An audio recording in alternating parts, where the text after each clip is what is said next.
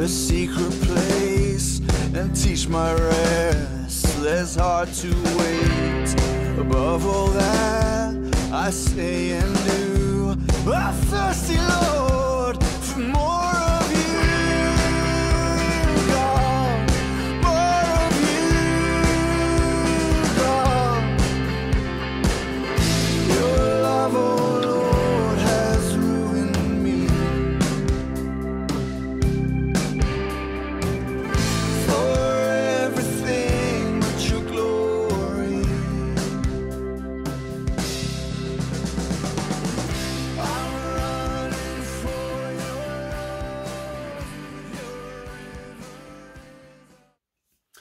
Good morning, church. Welcome to our service this morning. Welcome if you're uh, part of Three Rivers Church or wherever you are listening around the world. Welcome to the online service of Three Rivers Church Bedford today.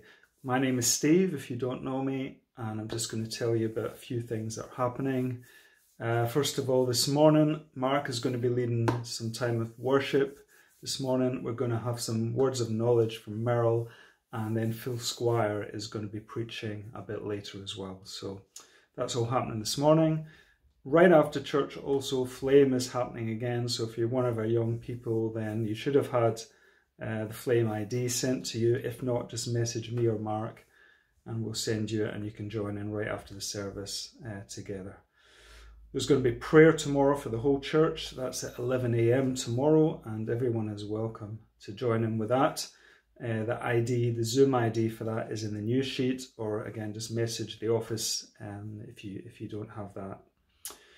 Next Sunday is first Sunday, first Sunday of the month again already, and so we're asking you to send in your testimonies so that we can put those and include those in the service as well. So if possible, if you could send a little video, that would be really good, and then we can put it on online here. And if you send those to Marc by Wednesday, he can include them uh, in the service next week. Uh, the church office is still open, so please continue to support each other. Please also, if you have anything, any problems or whatever, just get in touch with the office and uh, we can help. And uh, we're going to be doing an offering uh, this morning. Um, money is still coming into the office. We're thanking God for that. We still want to um, still want to continue to pay all the staff that we have during this time. So if you can still give, all the details of that are on the website. You can go and do that as well. All right, so before we get on with the rest of the service, let's just stand together if you can, because we're encouraging you to stand up while we worship and while we take part. And uh, I'm going to read this morning from 1 John chapter 5 and verse 20. It says, The Son of God has come and he has given us understanding so that we may know the true God. And now we live in fellowship with the true God because we live in fellowship with his Son, Jesus Christ. He is the only true God and he is eternal life. The Son of God has come and he has given us understanding so that we can know the true God. The Bible tells us that we can know God, we can we can have that understanding and we can get to know him, the true God, and live in fellowship with him. He is the only true God and he is eternal life. That's why we've come today. We've come here to worship him this morning. So let's do that. Let's lift up his name and let's worship him this morning, the only true God. Let's pray. Thank you, Lord, that you are the only true God, that you are eternal life, Lord, and that we can trust you. We can put our hope in you, Lord, and no matter the circumstances, no matter what we're going through right now, Lord, we can trust you. We can always trust you, Lord. You're the only one who's trustworthy. You're the only one that we can rely on to always be there. And so, Father, we come this morning, we want to worship you. We want to say that we are yours, we're your children, and we love you, Lord. We open our hearts to you, Lord, and we ask you to come in your spirit and just touch us right now, wherever we are. Just presence yourself amongst us right now. We worship you for your glory. In Jesus' name. Amen.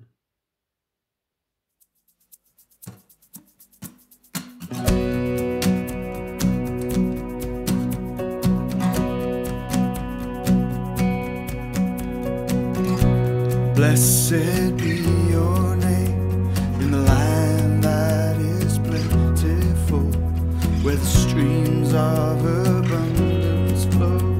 Blessed be your name. Blessed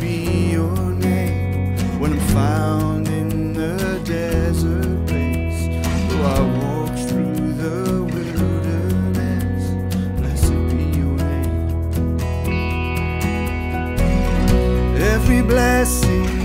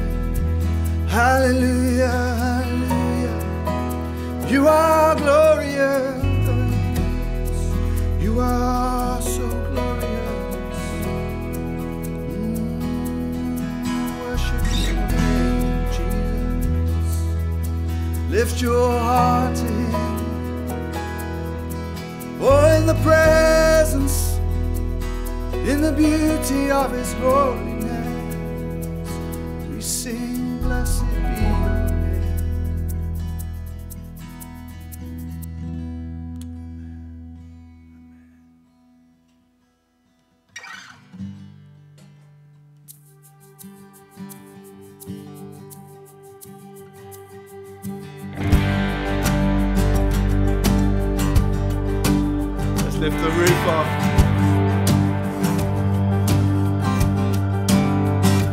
Let our praise be your welcome.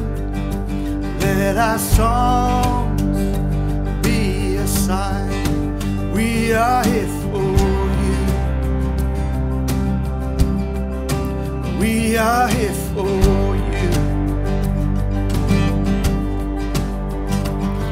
Your breath come from heaven. Fill our hearts with your life. We are here for you. We are here for you. To you our hearts are open. Nothing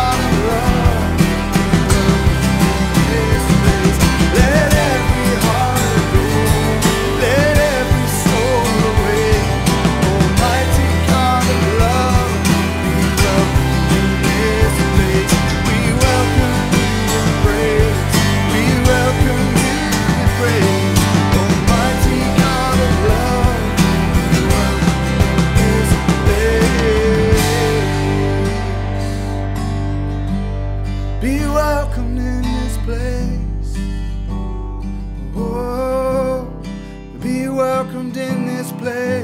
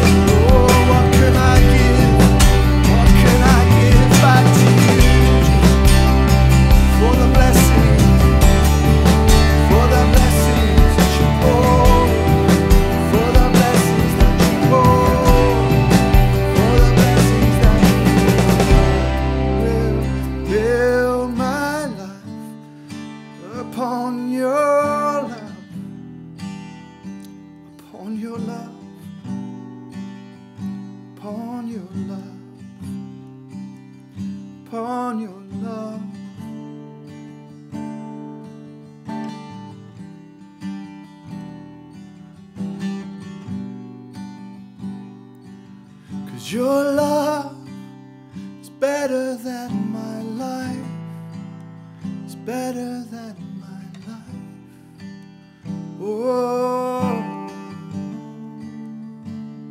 Cause your love reaches to the stars, reaches to my heart, reaches to my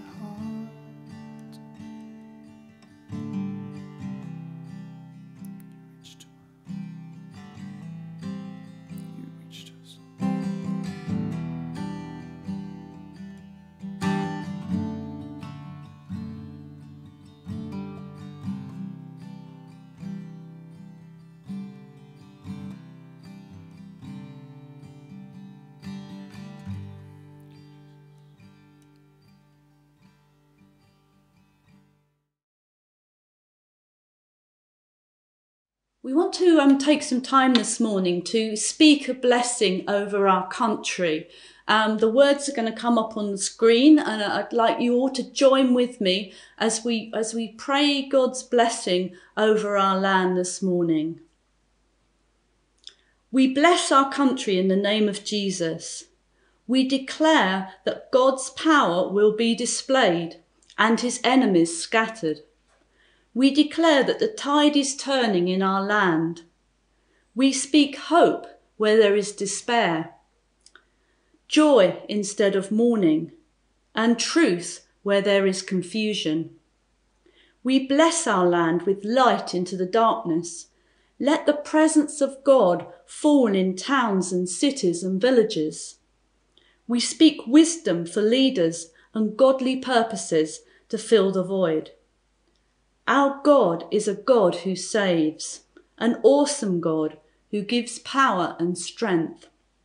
Bless us with that power and strength, we pray. Amen.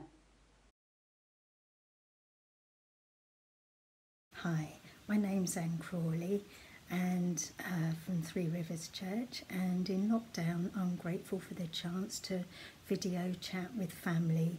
Uh, it's great to see everyone every day, which we do, and just to chat about everyday things and it, it really feels like you're there in the room with them and uh, that's become really special to me. Uh, otherwise in lockdown, uh, take a daily exercise down by the river and work in the garden. Uh, the other day I planted some geraniums, so just making the most of the nice weather and finding the positives in things. But it'd be lovely to see you all again when we can meet in person. Take care and keep well. Bye.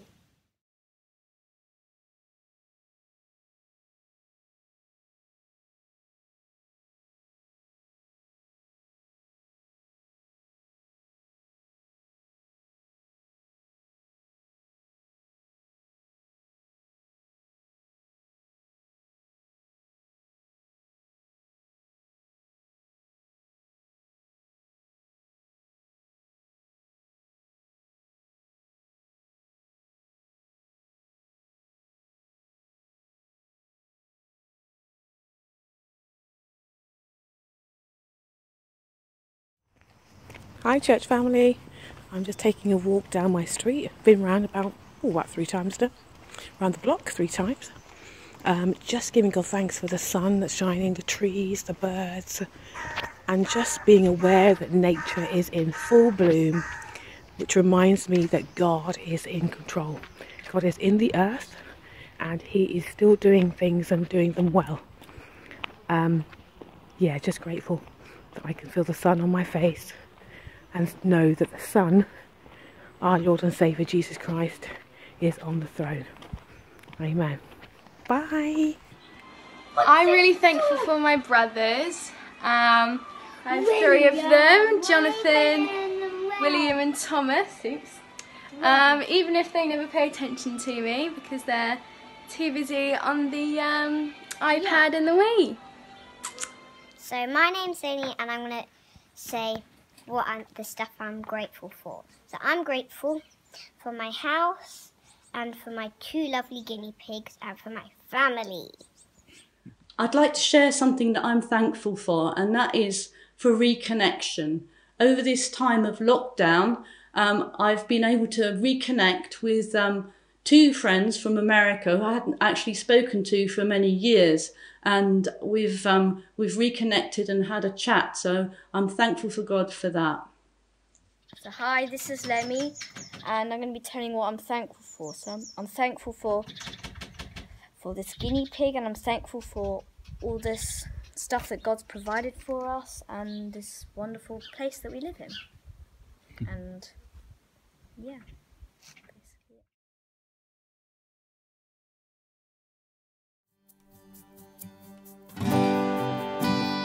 Giving you my heart, all that is within. Lay it all down for the sake of you, my King. Giving you my dreams, laying down my rights, giving up my pride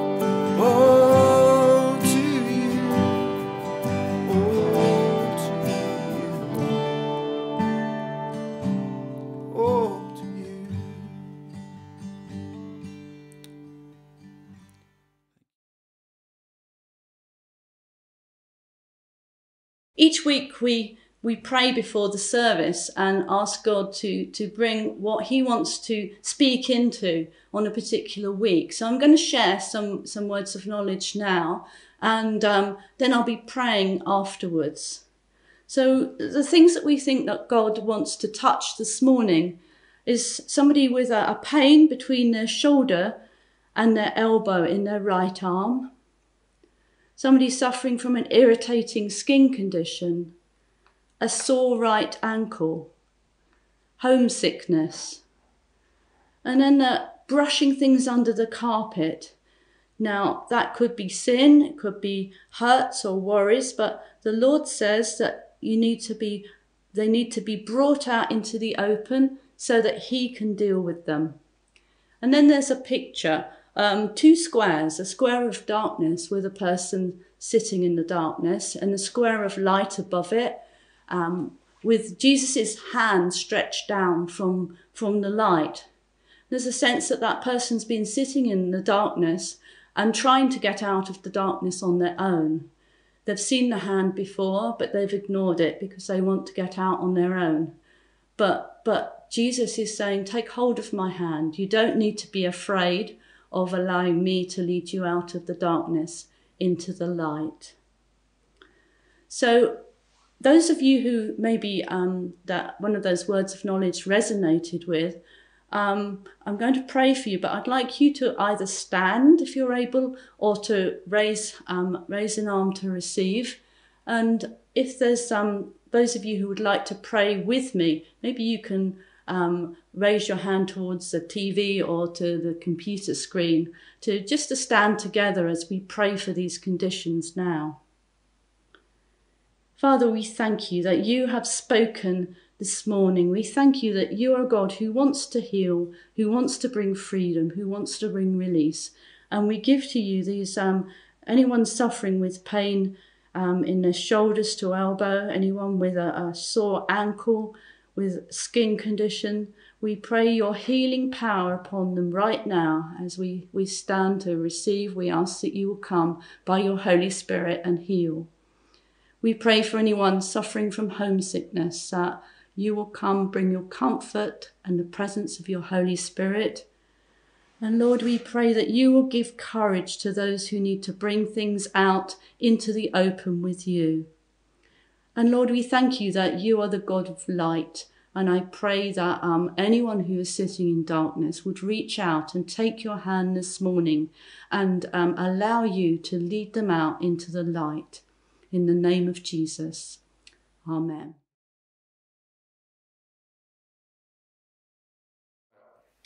Good morning, Three Rivers Church.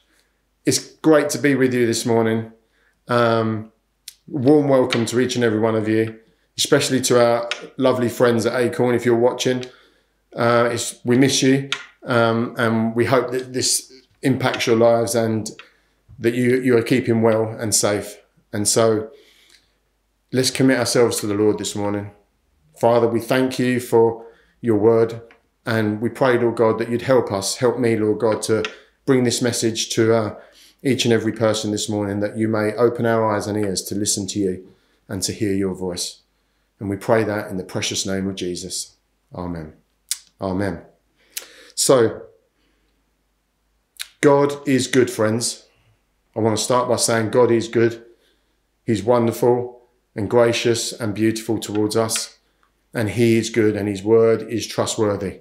Amen. That's really good news, isn't it? And what I want to uh, us to remember today that God's word is trustworthy. It's always trustworthy because of the love that He has for us. And as I've been preparing and thinking about what to bring this morning, I felt God impressed this upon me, and I want to share it with you this morning.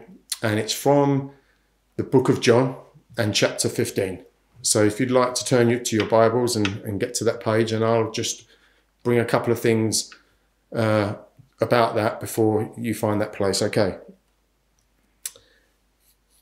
Jesus, at this particular time, was leaving what we call the upper room. And the upper room was where Jesus was gathered with his disciples. It's where Jesus ate the Last Supper, as it's known in the Bible, the last meal that Jesus actually ate with his disciples. It's where Jesus talked to his friends about what was going to happen to him in the next few hours and coming days. It's the, the place where Jesus met his friends to discuss about someone in amongst them was going to betray him. And yet nobody could fathom that out. They couldn't understand. But Jesus knew all about it.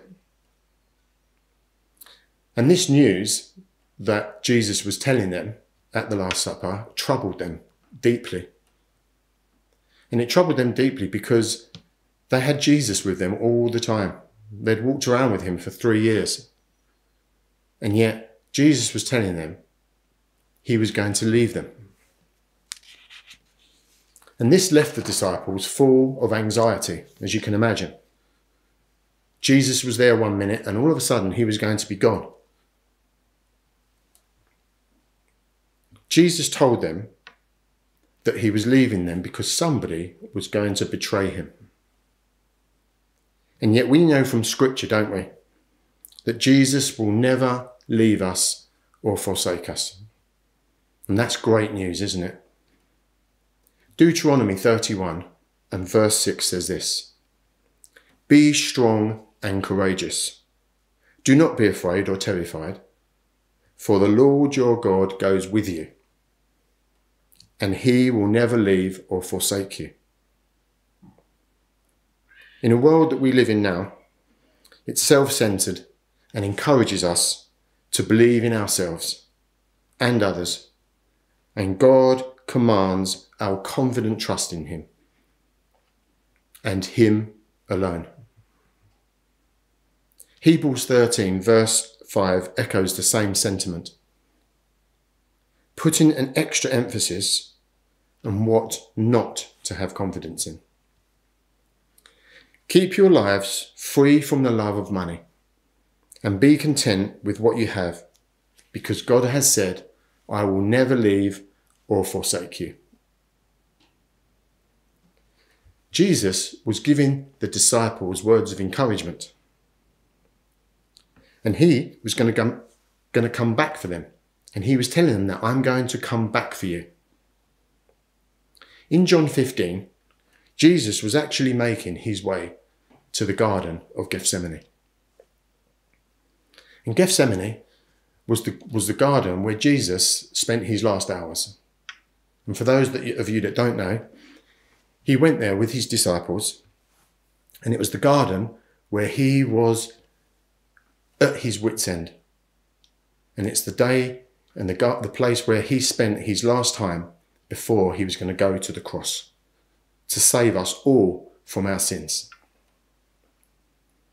So Jesus was giving his disciples some instructions as to how they could carry on living this life that he had taught them, even though they were not going to be seeing him any longer. In order for them to understand this, Jesus gave them this illustration in John 15 of the vine and its branches. Let's read that verse together, shall we? I am the true vine, and my Father is the gardener.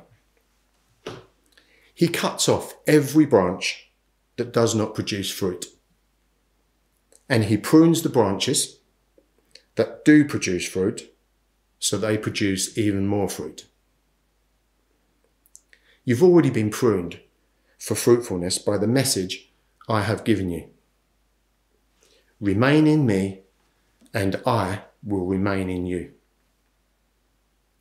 For a branch cannot produce fruit if it's severed from the vine. And you cannot be fruitful apart from me. Yes, I am the vine, and you are the branches. Those who remain in me, and I in them, will produce much fruit. For apart from me, you can do nothing. Anyone who parts from me is thrown away like a useless branch and withers. And such branches are gathered to the ground to be burned. You see, we all know, don't we? A vineyard cannot grow without the vine and the main stem.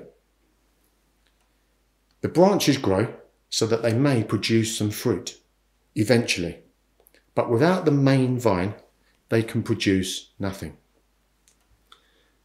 Jesus was telling the disciples, I am the true vine I am the true vine. Put another way, Jesus was saying, I am the source. I am the root. Jesus was there for the disciples and he provided everything they needed. And the thought of being left without him was deeply troubling to them and left them feeling anxious and completely worried.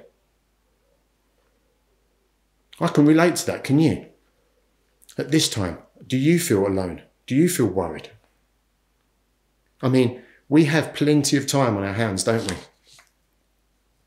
We cannot meet together, but we can like this. And that's amazing, isn't it? I love it. We can come together and share the love of God together through technology. And that is amazing, isn't it? Technology is amazing. Thank you, Lord, for technology.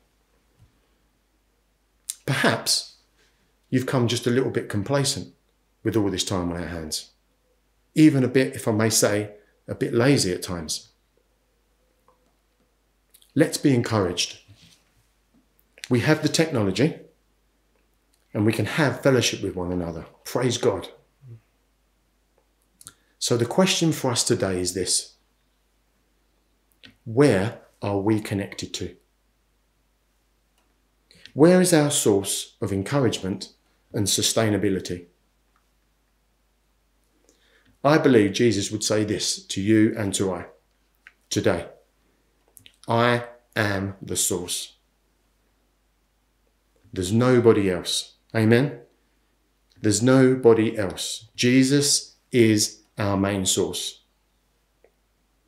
Verse 4 says this Remain in me, and I will remain in you.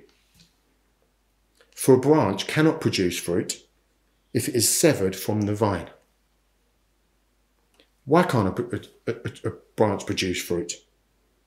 Because it's cut off from the Jesus who is our main source.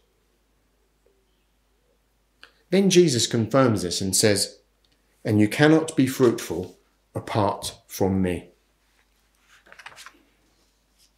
Verse 5 Yes, I am the vine, and you are the branches. We are the branches, and Jesus is our vine. He is our source. Branches grow slowly, and eventually they should produce fruit. Some plants and trees get entangled though, don't they?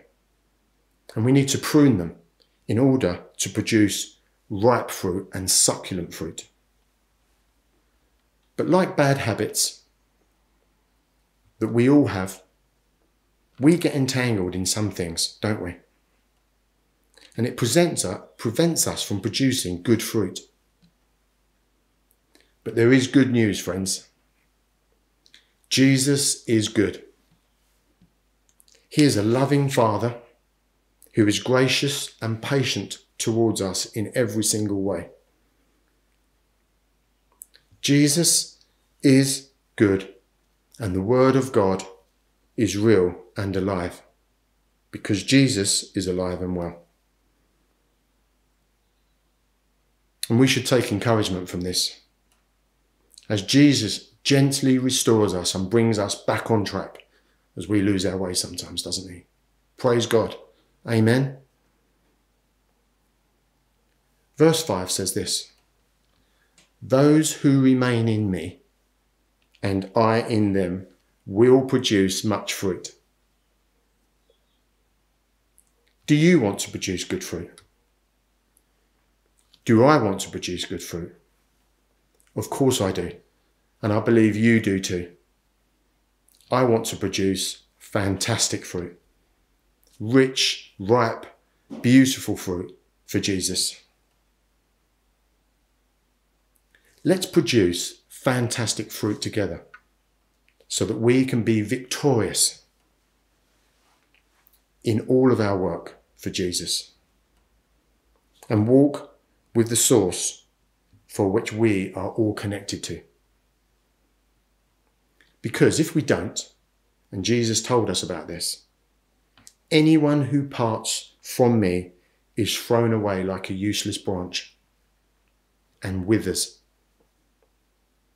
Such branches are gathered in a pile on the ground to be burned. And I don't want that, do you? Let's stay connected with one another, friends. We're doing that and it feels good, doesn't it? Let's stay connected to the source the true vine, which is our Lord Jesus, our perfect and wonderful Saviour. And He is the greatest fruit inspector of all time, isn't He? I want to dwell in the place where the Lord is, and I want to produce fantastic fruit as I know you do, so that He may look at us one day and be well pleased with us. I want to close this morning with this verse from Colossians It's in Colossians 2, verse 6 and 7. So then, just as you receive Christ Jesus as Lord, continue to live your lives in Him, rooted and built up in Him, strengthened in the faith as you were taught, and overflowing with thankfulness. This scripture is so powerful, isn't it?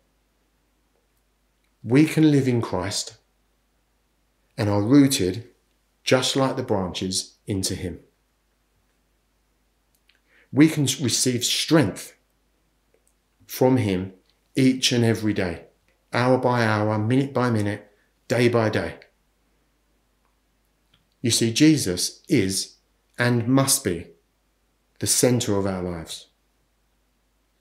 He must be the centre in every area of our lives, friends. Our marriages, our friendships, our family, all of our planning, all of our church gatherings, our meetings. Jesus must be the centre of everything. If we stay rooted in Jesus, if we stay rooted to the source, what a wonderful and lasting fruit will be born. And an amazing divine life and energy will flow through our veins in such a powerful way. Let us pray together. Heavenly Father, we love you and we love your wonderful Son. We thank you, Lord, for your word that it's alive and it's real and that it builds us up in our faith. Lord God, I pray for my brothers and my sisters who are watching and for those further afield that are watching this video. Lord God, please open our ears and our eyes to hear your word and to stay rooted, rooted deeply into the main source, which is Jesus. And through the power of the Holy Spirit, Lord God, would you enable us to become more like your precious Son? I pray that now in the precious, precious name of Jesus.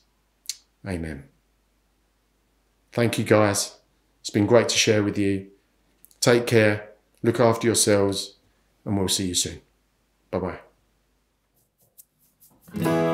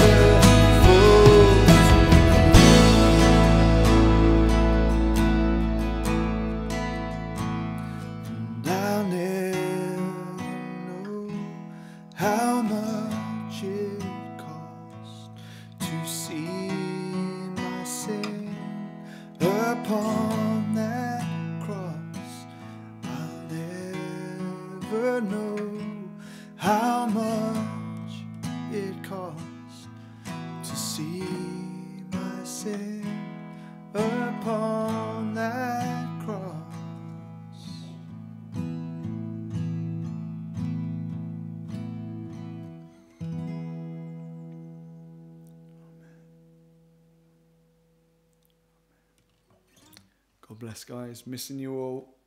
See you soon.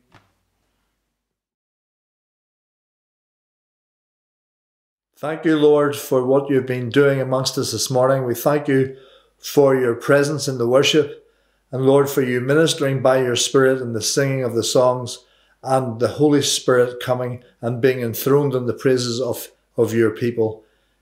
Not only as individuals, but corporately as you knit us together as a church family. We thank you, Lord, for the message that Phil has brought this morning. Lord, we thank you that we are rooted in you and Lord, that we can draw on you through worship and reading your word and abiding in you and staying in you and remaining in you and letting our roots go deep into you and drawing from you through praise and through worship and through reading your word out loud so that your presence is felt and faith cometh by hearing and hearing by the word of God. And we thank you that that fruitfulness, that fruit that Phil has been talking about, isn't confined to the church family, but is for everywhere we go in the world. And Lord, I pray for this world at this moment. We pray for your mercy. We pray for your grace. We pray for your people throughout the world that they would know your joy, know your peace, and know your fruitfulness in the situations that you place them in. We pray, Lord, for mercy to this world. We think of parts of the world that have been overtaken in Kenya, for example, by a plague of locusts and all the crops have been eaten up.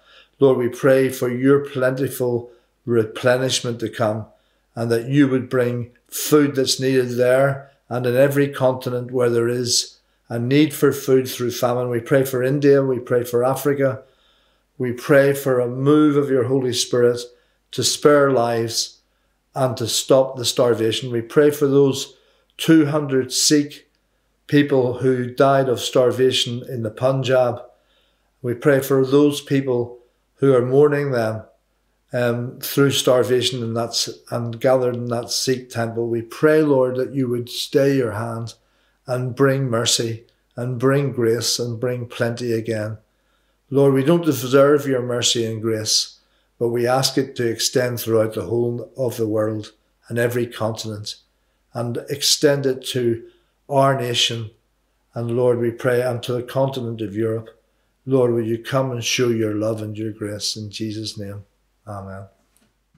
And as we come to the end of our service, I would just like to say to you stay safe, keep obeying the rules, but keep looking for the Lord in every situation because we will gather together as one family in one place in the not too distant future.